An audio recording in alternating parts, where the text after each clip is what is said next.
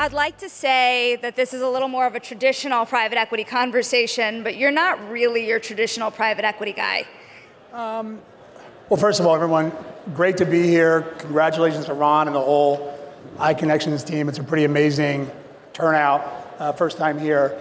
Um, I feel a lot of pressure, like I have big shoes to fill, or maybe giant shoes to fill, because Shaq was out here. I've actually, Shaq and I just did a, sorry, Shaq and I just did a picture with Sonali in the middle. I think it's a keeper, actually. The, um, but anyway, um, I think if by traditional you mean, you know, my, the jobs I had when I was younger, I was a, mostly a bouncer, a construction worker, I was a butcher for a bit. Um, I guess, yeah, I guess that would probably sound less conventional, although I'm not even sure anybody's story is really conventional.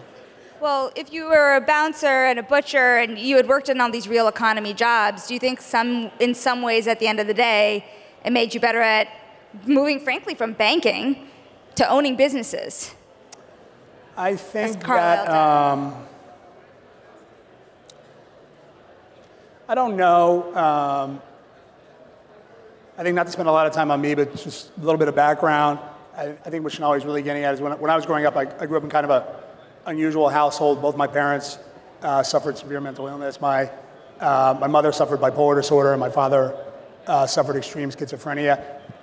In today's world, those diseases are, are handled better, but the, the medications are better, but the stigma is still uh, really significant. And so, as a result, I had kind of a turbulent childhood. I didn't, you know, I, I went to Rutgers University, and, uh, but I didn't even get in the first time. Um, I think it was more the random walk of my experience on Wall Street. So I had a really fortunate career uh, at Citibank for nine years and then Goldman Sachs for 21. And I just ended up randomly moving around a lot. Um, I never really had a role for more than uh, four or five years. I think my longest role was actually the CFO of Goldman Sachs for five years. And so it really taught me a bit how to move because even within a firm, within a great firm like Goldman Sachs, there's cultures within cultures. Banking is different than trading. And I think, I think I learned a bit about how to transition. Now, Carlyle, as a firm, you know, it's got such a storied history in finance. It's iconic. Um, what's happening in our business now, private markets, is pretty extraordinary in terms of the trajectory. That's why everybody's here, obviously. Um, and so, making the move, the most important thing about making the move, Sonali, was understanding the context of the move. And by that I mean, whenever there's a succession challenge and you're a new CEO, you really need to understand what your position is in that role. And for me, it was really about understanding quite carefully I was a new CEO, not known. I knew many of the LPs, I knew some of my partners, but it really had to invest the time to know my LPs around the world, and most importantly, to know my partners and my colleagues. Now, for those of you who don't know Harvey Schwartz, he had joined Carlyle almost a year ago. Yep. You are joining the industry at a time of, we could say, immense transformation, the whole industry, let alone Carlyle. And then you also come from this very, very non traditional background. A lot of people in private equity have that Wharton pedigree and they and they rise to the top. And you didn't not only not just come from that, you also came from a banking rival. You came from Goldman Sachs. You were a banker.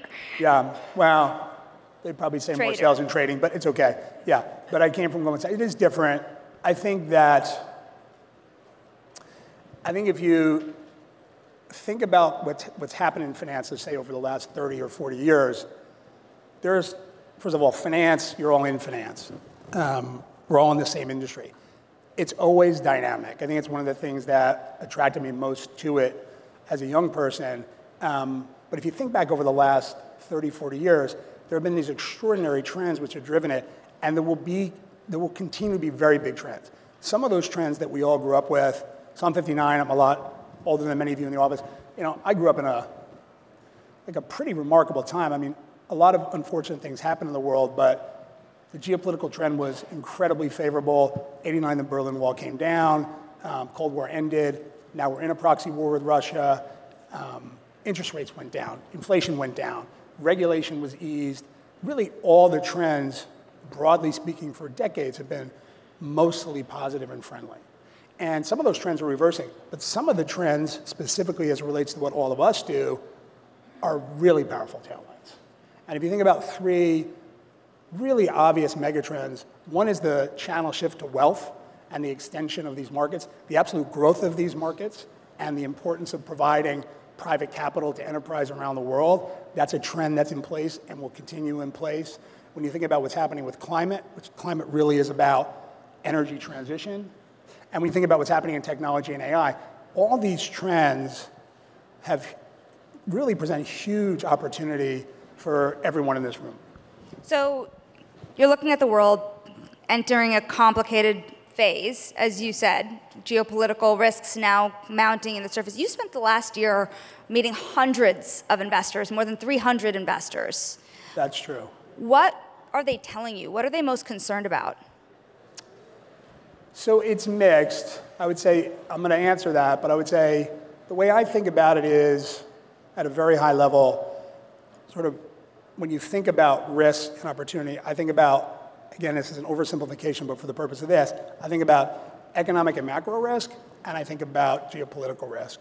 I think coming into last year, you, I would have said if I was sitting here that it felt like one of the most complex times for me personally in my 35 years of doing this. And the reason I would have said that is because there was so much uncertainty about the economy, about inflation, the trajectory of interest rates around the world, quantitative tightening, and really what all that means, oversimplified, is the cost of capital. And we hadn't seen the cost of capital go up really in a systematic way in global economies for decades. And so that was a huge adjustment. And I think there was a lot of uncertainty attached to that. I think geopolitical risk was clearly on the scene. I think over the past year, we're getting more clarity on the uncertainty around economic risks. The, the data is proving out to give us a case that I think, even though there's a lot of debate around consensus, I think we have our very specific views, which I'll share with you in a second. But I think geopolitical risk, obviously, with the tragic situation in the Middle East uh, and Russia, Ukraine, I just think ge- geopolitical risk is the highest we've seen, certainly in my lifetime. And um, unhedgeable risks make me very cautious and it's an unhedgeable risk uh, and uh, alarming. On the economy, you know, there's always this debate about hard landing or soft landing. I'm not sure that's really the best way to get under the hood of this. So we have almost a million employees in our portfolio companies um, in 30 plus countries, and so we have a pretty unique data set in terms of the economic activity we see. Um, Carlyle, for those you who don't know, is a, a bit over 400 billion of assets. Um, we're really known as a private equity firm, but credit is really our biggest segment now.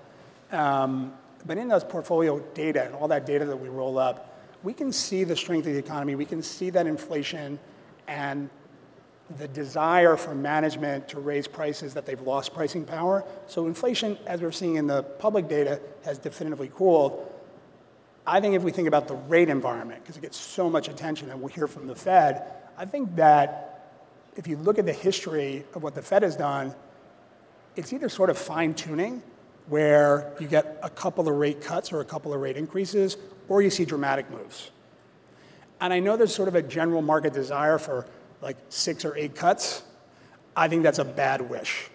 Um, I think the cost of capital normalizing, and if we can navigate this and have modest cuts, I think it would be really good. I think the industry will thrive.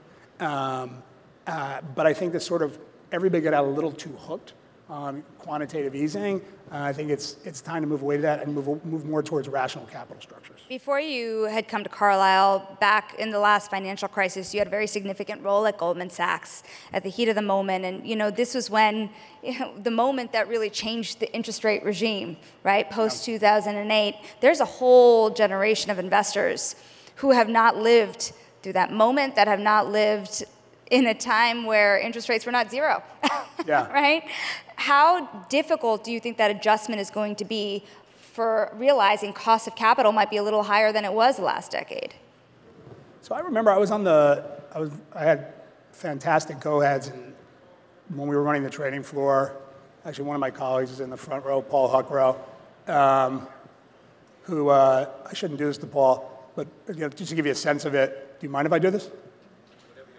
Yeah, okay. So, uh, and again, in the heat of the moment, you could, just to give you a sense of how how kind of nutty it was, but everybody knows it was nutty. Uh, I was in my office and um, there was a long line of people outside the office because there was a lot of decisions to make. And Paul came walking in and he said, Hey, we, have had a bit of a mishap. And I said, Okay. He said, Yeah, we, we lost $400 million. I go, Just like now? He's like, Yeah, just a few minutes ago. And he said, um, Am I going to get fired? I said, No, it's fine. Go back to work. Anyway, um, sorry, Paul. But he's an incredibly talented trader and investor. The, um, the, you know, I was on the trading floor at Goldman Sachs when they introduced quantitative easing, and I, and I remember most people were scared of it. They didn't know what it meant. A lot of people actually sold mortgages. And then very quickly people realized, oh, no, no, no, you buy mortgages. And then quantitative easing, and I, I think the Fed did an extraordinary job creating quantitative easing. I think, of course, the problem was you had a series of events that came together between the way we adopted monetary policy. It just we, we were nervous about quantitative easing, then we liked it, then we liked it way too much. And of course, then the pandemic. And I think 50 years from now, when we look back at the history of finance, I think, to digress for a second, I think the kind of unfortunate timing of the smartphone in 2006, the financial crisis in 2008, and the pandemic will actually all tie together in a way that sort of set up the system and what we're now having to adjust to. And but I think it's really important to have rational capital structures. And we haven't had a rational cost of capital determined by the market in a long time. That's going to be a complicated adjustment. But I do think for everyone in this room and for Carlyle, I think it's, it will create incredible alpha opportunities over the next five, ten years. Um, and everybody likes beta, but I think it's a huge opportunity set for everybody in this room. Now, let's talk about some of the things that are kind of setting up for the next five to 10 years. I know you don't like to talk 10 years out, but yeah. there's some structural changes. Uh, one of them, topic du jour, being private credit. You had mentioned that credit is now a bigger business at Carlyle than private equity. How far does that trend go? Yeah, so, um, well, we're the largest CLO manager in the world. Um, private credit's important. It's not that I don't like to talk 10 years forward. I just think if you actually think about the debate around what the Fed's going to do in the next six months, people can't even agree on the certainty of that. So I think actually predicting 10 years is quite a difficult thing. I think you can, again, attach yourself to some fundamental trends. And one fundamental trend, so I'm, I'm an optimist by nature, and so one fundamental trend I believe in is I think wealth creation will just continue. You know, despite all the reversal of some of the mega trends that really drove the world for the last 30 or 40 years and took billions of people out of poverty, I think, I think wealth accumulation in the world will continue. And that means that as businesses grow, they need more capital. I think the trend towards fewer public companies probably continues. And I think as providers of capital, our role will get increasingly important.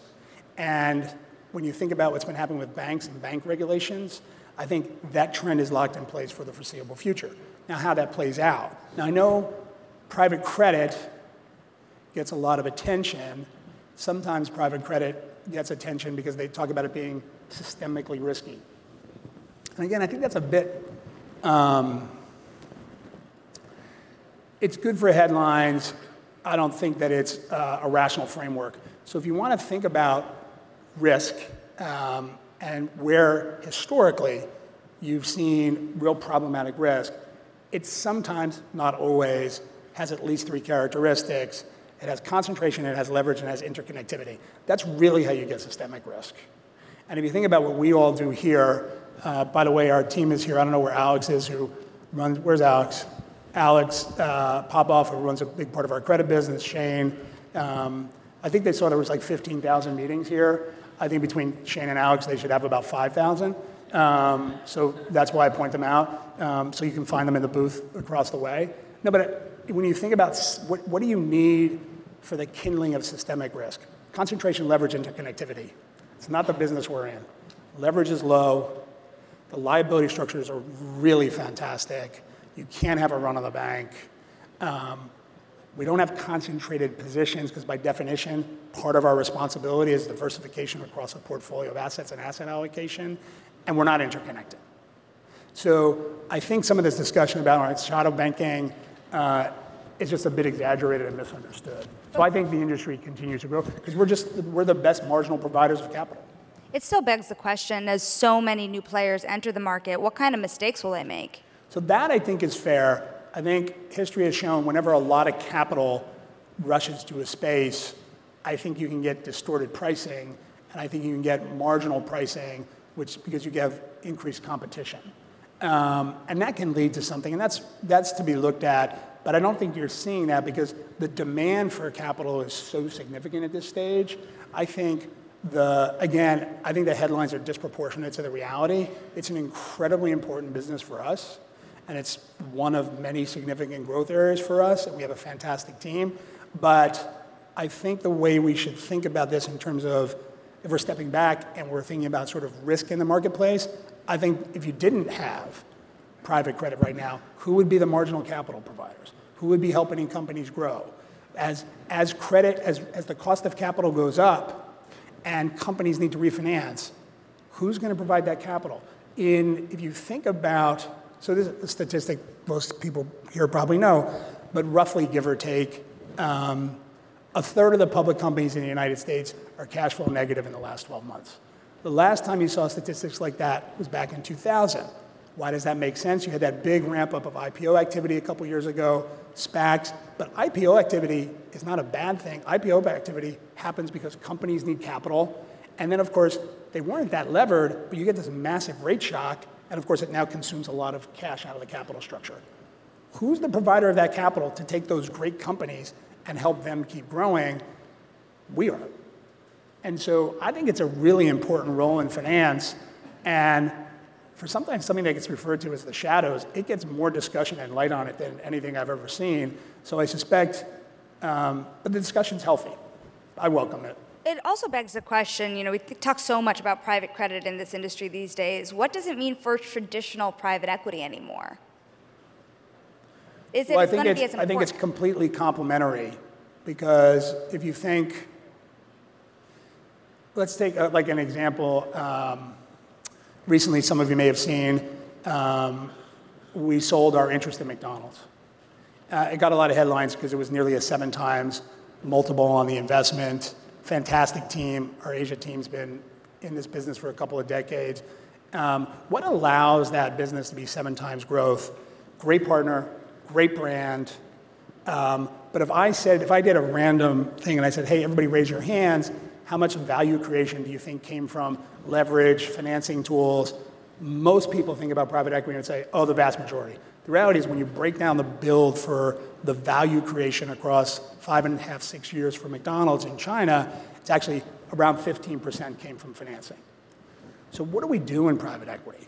What we really do is we work with management teams, we work on operational capabilities, we work on strategy, we add value, and financing is an important component of that because that's the kindling.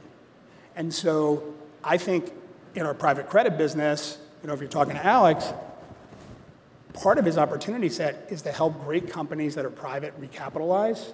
And in private equity, I think, I think they, you know, you know, 10-year predictions I won't make, but I'll tell you, I think the private equity is going to be much bigger in 10 years than it is today. Um, a lot of that's because of what will happen with wealth around the world that want access to those returns. Um, but there are great, great companies that because of this rate shock will need to be recapitalized. That can come in the form of equity, it can come in the form of debt. But that's where we can bring these things together and be a solution provider. It's funny because the thing I was going to ask you, with the cost of capital being higher, some can argue that the golden age of private equity is over. Would you agree with that? No. I would say the golden age you could argue then that the golden age of every asset class is over. So, again, not to like get dragged into a corporate finance discussion um, at the risk of being super boring, but um, hey, the treasury curve is the risk-free rate of the world, and everything is priced off the, off the treasury curve at the end of the day. If you really want to be a purist and sort of first principles about corporate finance, if the treasury rate is is actively but openly manipulated, it drives down the cost of capital for every asset class in the world. It doesn't matter mortgages, cars, homes, every curve in the world. So that's why I believe fundamentally as a market participant that in a very orderly way, it's better if the cost of capital normalizes wherever that should be. Now, if you have easy money, obviously you can use that as a different sort of part of the toolkit. But as the cost of capital goes up, as I said, like take the McDonald's example, 15% or so of that value creation came from financing. It's not how you get a near seven times return on an asset. You get that again, good partners, really, really fantastic business plan, right demographics. That's what you have to do to create value. So as the cost of capital comes up, I'll, I'll give you my sense of what I think happens. I think private equity returns continue to outperform over a long cycle like they have. But I think you'll see capital structures that are not as levered. You'll see more equity in transactions. I think you're going through a price adjustment now, and you'll see companies do more carve-outs. And so I think the opportunity set shifts. But if you look, for example, we've been in this business for 35 years. If you look at the history of that particular segment of our business, private equity at Carlyle, we generate our best returns in these kinds of environments historically. So you mentioned something a couple times, and this idea that the world is going to get wealthier, and that wealthy individuals will want more assets like private equity funds, for private equity assets. Private credit, private equity, I think it's a natural transition. What's driving that, and how difficult is it to get people to see the paradigm shift here? Well, I don't think it's difficult for people to see it because it's not driven from people like you and me on a stage. It's driven from their own need and their own desire. It's no different than evolutions in other markets as investors, wealthy investors, retail investors have access to things. And so in this world, there's so much transparency and people can get educated so quickly, it's very easy for people to see the value in having a diversified portfolio of assets. The key for us in this industry is to get it right. And so if there's something we're doing in credit, for example, our CTAC, which is basically the best of credit at Carlyle, a diversified strip, um, if we have that, it's our obligation to work with the providers, because we don't cover the wealth directly, um, and one of the big wirehouses and platforms, we have to make sure we work with them to make sure that it ends up in the right hands. And that's what I think over the next five or 10 years is the paramount responsibility of everybody in this room is to make sure that we make sure we all collectively deliver to those clients. But again, this trend will continue because the diversification makes sense. You have your choice between stocks, bonds, emerging markets, S&P 500, ETFs, debt, all, the whole full toolkit of investing choices should be made available. I guess that's why they call it democratization, although there was no restriction. Um, but I just think it's a natural evolution. It's not going to stop. These are certainly topics of the day, and the, the other big one is artificial intelligence. Yeah. You know, you've given me some interesting examples over time about how you've started to use it at Carlyle and portfolio companies and the difference it's made. What about this next generation of AI? What will it do for you? So I think that um, of all the trends that I talked about, the one I didn't mention before was the trend in technology, which is only accelerating now. The others are generally reversing or slowing. And in technology, I think we can look back and see step functions, right? Like um, mainframe, PC, web, smartphone, AI. Okay? And I'll tell you, as, a, as the CEO, I view it through uh, three strategic lenses. One is how can we work with our investing teams to make sure they have all the best technology to make the best investing choices? That's one. The second is how can we deliver it to our portfolio companies and help our portfolio companies leverage our collective resources because at our scale, we can have the investment in AI. Um, we have a partnership with OpenAI. You've probably seen it. And also, as a CEO, how can we make Carlyle better? Now, me, I think somebody asked me in Davos, um, I was at a, a roundtable, and uh, Fareed said, Fareed Zakaria was hosting, and he said, Hey, um, how many people think it's hype, AI? And I said, It is overhyped. That doesn't mean it's not real. But for me, it's all about use cases. Because you can have enthusiasm for something that you can't quite quantify um, the KPIs and the output. So for me, it's all about use cases. And so as the CEO, that's what I want to see. I want to see very specific use cases. Some of them, people will say, well, look, we believe the use case has this outcome. We can't guarantee it. That's fine too. But sort of understanding the application, but I think it's super early days. But we're already seeing the benefits in some of our portfolio companies where the deployment is making the company better perform for their customers, more efficient, universally better outcomes. And again, I think it's super early days. Almost a year, almost a year into your time at Carlyle, we kind of started this conversation talking about your very non-traditional background. Yeah. And you know, it begs the question. No, he's not so traditional. You know, she's a Jersey girl. Oh yeah. You know, that's- did you did Shaq's, Shaq's from Jersey, Sonali's from Jersey, I'm from Jersey.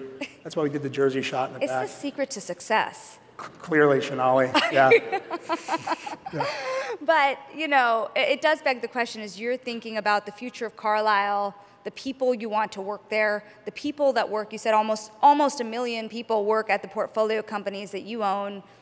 How do you think about talent moving forward? So I've gotten the talent question a lot over the years, and I think um, this is what I've, I've, I've sort of observed. I think that, well, first of all, everyone in this room fits the prerequisites for this industry, which is you have to be smart, you have to be willing to work hard. It's too competitive um, to not be. I think the third component is level of care. Level of care, I think, in some respects, can be taught. I think if you grow up in an institution and you're surrounded by people that have a really, really high level of care for each other, for their clients, for the outcome, for compliance and policy, I think it just can be part of who you are as you evolve as a professional. Uh, I'm not sure it can always be taught. If it hasn't been learned, I think it's very difficult to teach. Um, I, think it's, I think it's hard to unlearn bad practices. The last one I don't think can be taught, which is creativity. I think certain individuals are just incredibly creative. Paul is creative um, and great to work with and a fantastic partner. Um, and had all those elements, by the way. But um, you can't teach creativity. But when I think about the organization, the organization can be creative. Like with the right focus, real uh, set of priorities, encouraging execution excellence and teamwork, teamwork can create creativity. And so that's how I think about the culture. But I'm also, you know, my, the founders of the company created an incredible culture. Um, David, Bill, and Dana, they've been great to work with, um, great partners, become friends. I think that um, I'm just lucky to have, you know, it's just a privilege to have the seat. But I, I work with some great people. But they've now given you the keys to the castle. And so if you think about the next 10 years of Carlyle, your favorite question. Yeah. How, how is the biggest way you think it'll change? What do you wake up every morning trying to achieve? Yeah. So because I don't believe in 10 years, I'll just say I, I think global domination. Um, but I think that um, I think it's actually the things I just said. I think it's about focus, excellence of execution, and teamwork. And I think it is all about executing day to day. And I think what we want to be is the best provider of returns to our constituency and we want to provide everyone at the firm with the greatest possible opportunity to achieve their dreams, their dreams professionally. And maybe some of that sounds a little bit too uh, optimistic, but it's truly how I believe. I think if we can do all that, and Carlyle is an extraordinary place. Um, you know, for the power that Carlyle has and the 400 billion plus assets, you know, we're 2,100 people. So we can do a lot because we can be nimble, we can be creative, um, we have fantastic teams. So I'm pretty optimistic um, I think 10 years, yeah, global domination. Harvey, thank you. Excited for Thanks your two, let alone your 10 Okay, great. for you. Thank you very much. Great to be here, everybody.